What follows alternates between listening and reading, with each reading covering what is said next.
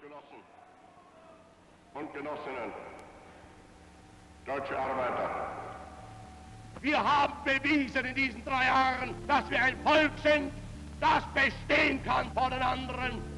When Adolf Hitler and the Nazi Party came to power in 1933, they began building the largest forced labour system in Europe since antiquity. Some 26 million people across 20 countries had to work for the Nazi regime, including 12 million in Germany. Without forced labour, the German war economy risked collapse as early as 1941. Somewhere between 4 to 600,000 Czechs also worked in Germany and the occupied territories. Každá rodina měla ve svém okolí někoho, kdo tam byl. Ježíš Maria, tady je to piano, na který já jsem hrál. Among them was my great grandfather, Miroslav Ježábek. Last year, I retraced his journey to understand what life was like for Czech forced labourers and other national and ethnic groups persecuted by the Nazis.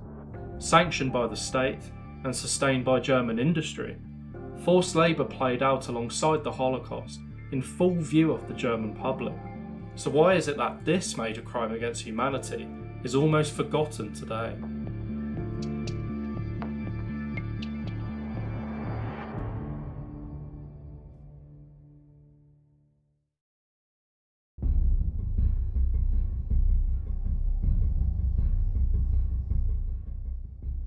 Less than a month after arriving in Saalfeld, Mirek wrote home to my future great grandmother saying how he and some acquaintances had visited this cosy cafe, today a youth club.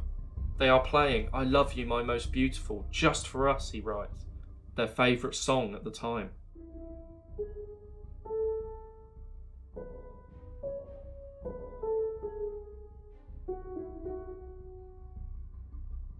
German speaking Czech, Dutch, and Flemish workers could visit shops, cinemas, theatres, and play football. But whatever relative freedoms Mirek enjoyed, he was faced by constant reminders of his status in German society. His last line reads basically, a Czech isn't a human being here.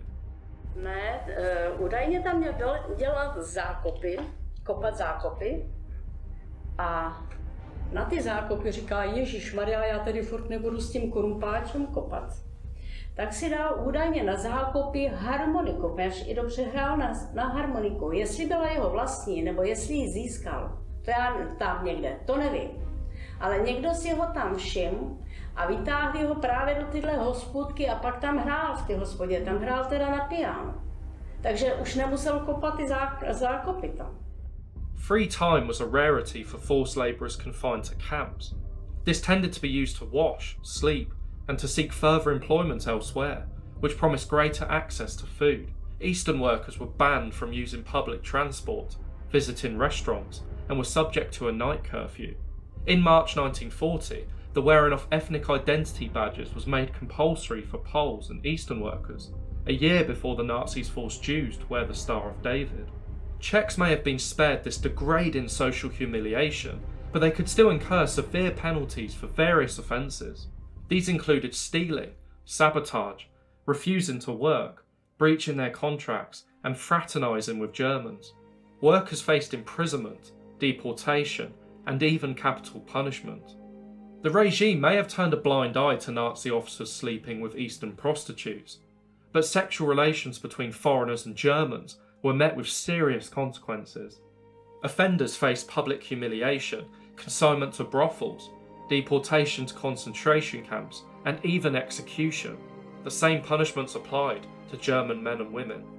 More than half of the abducted Eastern and Polish workers were women, including girls aged 13 and below. Families of deportees tended to be kept together, but this did not always happen. In December 1942, Sauckel introduced maternity and childcare facilities to stop pregnant women from being sent home. In these facilities, women became targets for forced abortions. Suitable offspring were spared for Nazification in German households, but children considered unfit to work or genetically inferior died inside infant death camps. But despite such brutal punishment, resistance from labourers was rare. Some cases saw workers vandalise recruitment offices or railway lines. Czechs famously employed go slow tactics as a form of passive resistance, wasting time on trivial tasks to delay their productive output. But the best chance for most labourers was to quietly work for the enemy and pray their day of liberation would come. But not all had a choice. Hidden in the Thuringian highlands, just 19 miles south of Saalfeld, is the Oertelsbruch slate quarry. Forced labour had operated here since the start of the war, but this intensified from September 1943 when the Nazis established the KZ camp, codenamed Laura, an SS run satellite camp of the Buchenwald concentration camp network.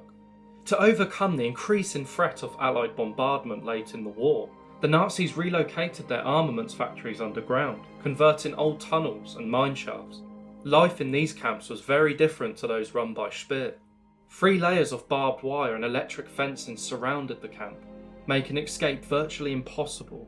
Tunnelling and construction were the most dangerous work for any labourer, but especially slaves. Living conditions were equally abhorrent. An existing barn housed almost 800 inmates. Here, inmates were tormented with roll calls and routine physical abuse. Another barracks, now derelict, previously housed Italian military internees. After Italy surrendered and joined the Allies in late 1943, the Nazis carried out brutal revenge against them. A staggering 650,000 Italian POWs were deported to the Third Reich by the summer of 1944. The Nazis converted these men to civilian status in order to avoid international guidelines concerning prisoners and work. Thousands died in captivity. The main task for forced labourers at Laura was building and testing the dreaded Nazi vengeance weapons. More than 4,000 V 2 rocket engine tests were carried out from this site. These missiles killed thousands of civilians in England, France, and Belgium, but tens of thousands of workers also died in their production.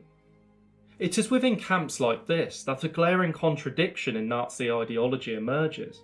The Reich authorities were always at odds about the true purpose of forced labour. On one side there were Speer and Sauckel, who favoured economic expansion, but other institutions like the SS saw forced labour only as a means of punishment, racist repression, and extermination. But as Laura shows, even the most ardent Nazis succumbed to economic reason as their hold over Europe began to crumble. Leave was the only legal way a labourer could return home without breaching their contract. But with many workers failing to return, Sauckel eventually outlawed the practice in March 1944.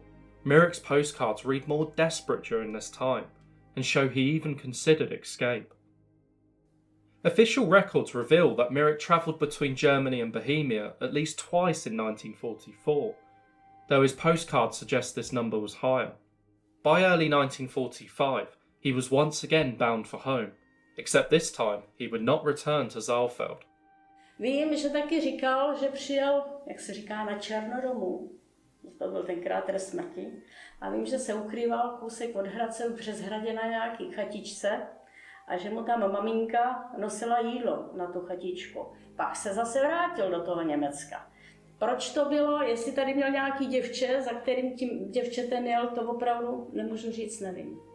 On měl nárok za 6 měsíců, za 6 měsíců přijet do Čech na 3 dny.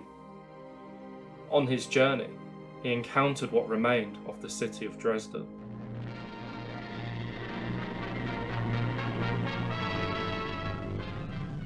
In the greatest blitz on Germany, Allied airmen link up their attacks with Marshal Stalin's armies. British bombers head for Dresden, the Saxony bastion of the Nazis along the Eastern Front.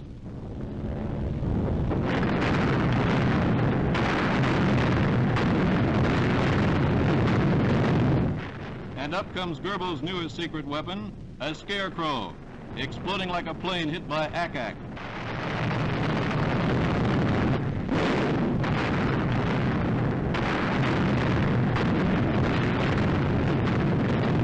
Eight hundred RAF Lancasters splashed 650,000 incendiary bombs on transportation lines in Germany's seventh largest city.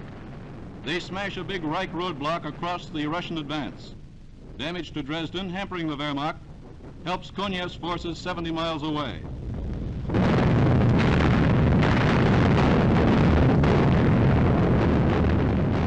Takže on dostal dostal v prvním půlroce, dostal, byl tady na tři dny a vlastně v druhém půlroce, když si vyčerpával, tak s chodou náhod cesta do Čech, ty tři dny dovolený a cesta zpátky do Německa a tomu zachránilo život, protože to bylo na přelomu ledna února a v únoru byly Drážďany bombardovaný eh, Britama a Američanama, kobercový bombardování a on vlastně, když došel v březnu zpátky, když dojel, tak zjistil, že jejich fabrika neexistuje. Takže se otočili, vrátili se do Čech a až do osvobození v květnu 45, tak se vlastně schovával po známých a příbuzných.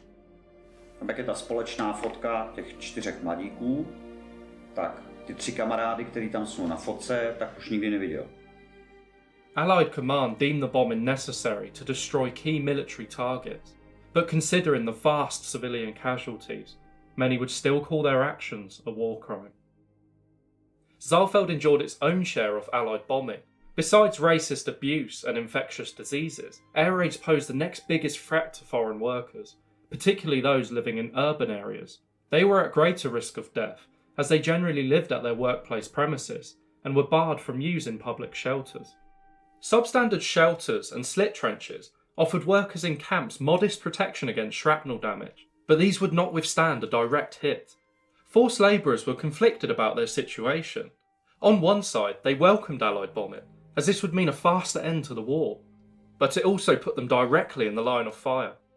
British Bomber Command had conducted sorties against Saalfeld throughout the war, but it was the US 9th Air Force which carried out a major assault on the town on the 9th of April 1945. Before the attack, Sauckel commanded all garrisons to defend Thuringia at any cost. He fled south to Bavaria only days after giving the order. Fleets of bombers roared over the town, targeting its rich industrial quarter and railway station, a key transit point on the Munich to Berlin line. Bombers unleashed 1,300 explosives, killing more than 208 people, seven foreigners among them.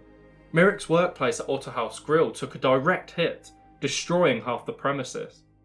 Großeltern mit ihren Kindern in dem Haus gewohnt haben hier vorn, hat einen Bombentreffer bekommen durchs Schlafzimmer und während die Familie im Keller Zuflucht gesucht hat.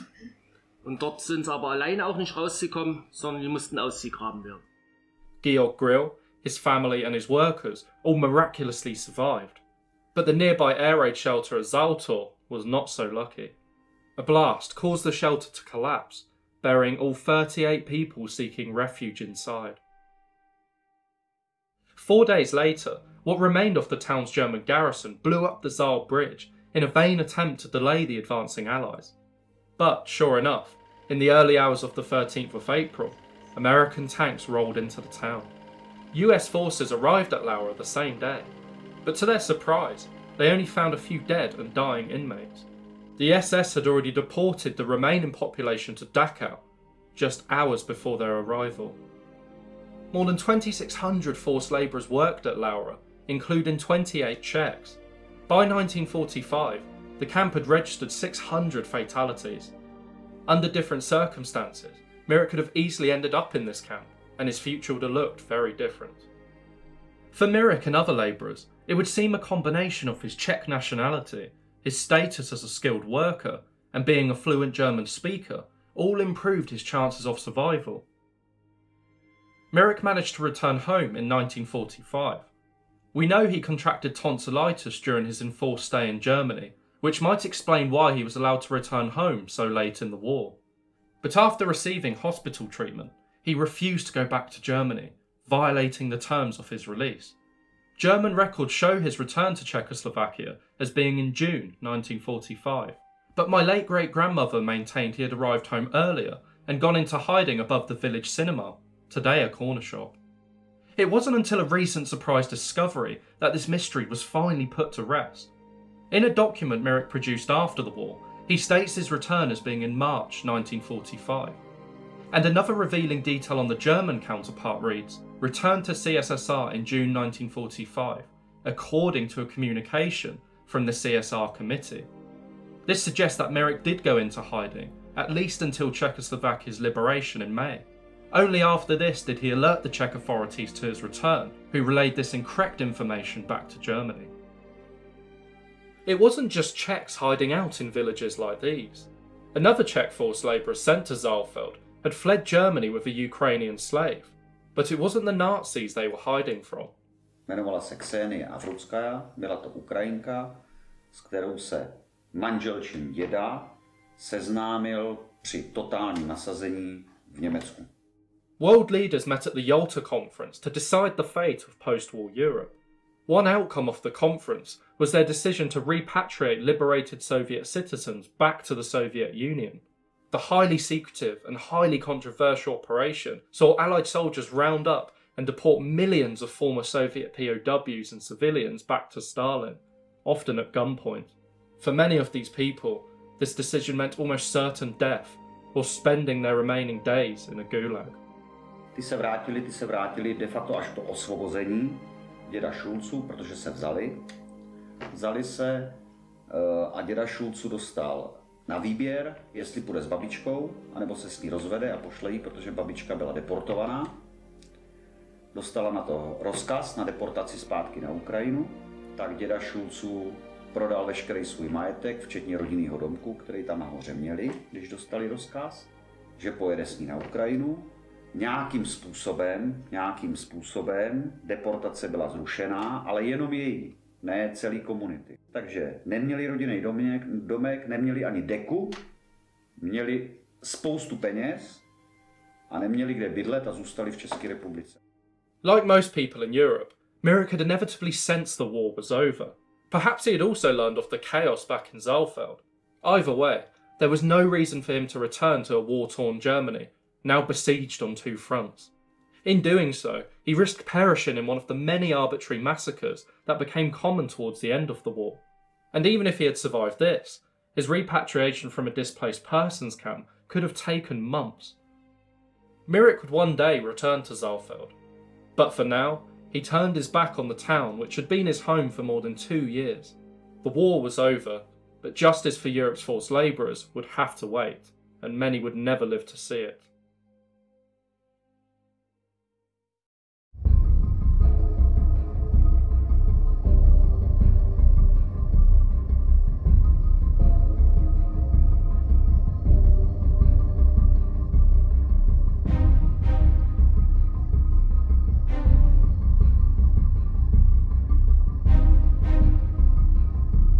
Hitler didn't didn't kill six million Jews.